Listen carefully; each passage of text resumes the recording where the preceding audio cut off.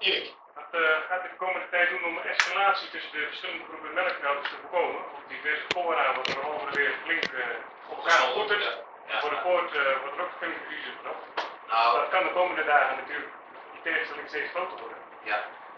Tot nu toe LTO uh, uitgesteld is. Ook uh, ondanks de verhalen die naar buiten werden gebracht dat er knopboerderijen zijn die er uh, zover ik weet nergens geweest. Het was een kwestie van met elkaar aanspreken verantwoordelijkheid. En ik hoop dat we dat kunnen blijven doen. Dat is de, ik zie niets in een escalering, want als je met elkaar aan de weg gaat, ben je energie kwijt van die andere richting. Dus laten we dat. LTO zal alle inzetten om, het onder collega's verder niet te laten escaleren. En wij zullen dat soort berichten ook niet weer opnemen.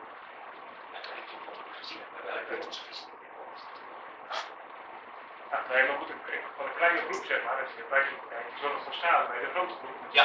Zo verliezen. Ja, maar goed, er zit ook, uh, laat het buren ook maar eens onderling elkaar gaan vertellen uh, wat veel voorkwam. Dat je voor woord van de coöperatie die staat, die gaat elders in elkaar Kom op, uh, we elkaar nog wel wat. Dat is nog niet altijd uh, uitspraak. Ik ben ervan overtuigd dat er ook veel zelfveilig geholpen is.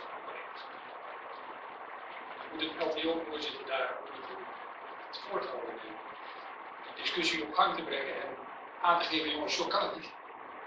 Of zo kan het wel. Ja, dat hebben we gedaan en we hebben gekozen voor zelfkies. We hebben er niet voor gekozen om de voorzitter van de overheid naar een verkeerspoort te zien. Het zijn onderling collega's geweest. Dat is onze bijdrage om de zaak te laten escaleren.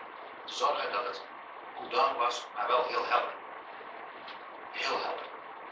En wat het debat verder betreft in de richting, we hebben onze GLB-visie gepresenteerd. Wij werken ook naar buiten, want uh, we hebben ook nog een discussie gehad over het CER-rapport. Nou, ik probeer dat eens te plaatsen in wat vrouwen hebben houden.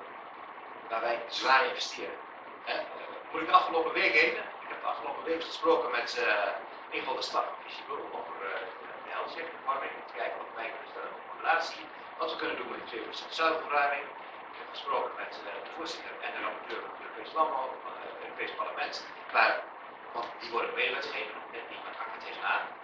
Uh, wat kun je daarop insteken? En zo ga je door. En dat is belangrijk.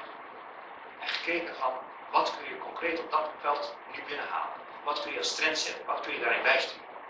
Want dat is de werkwijze die wij uh, gekozen hebben. En we zijn uh, niet de hele dag bezig geweest met uh, inderdaad een aantal dingen voor dit gooien. Met andere werkingen, kortom, gewoon door. En ja, het is ook niet anders, dat is de realiteit. En ik hoop dat wij als organisatie dat doen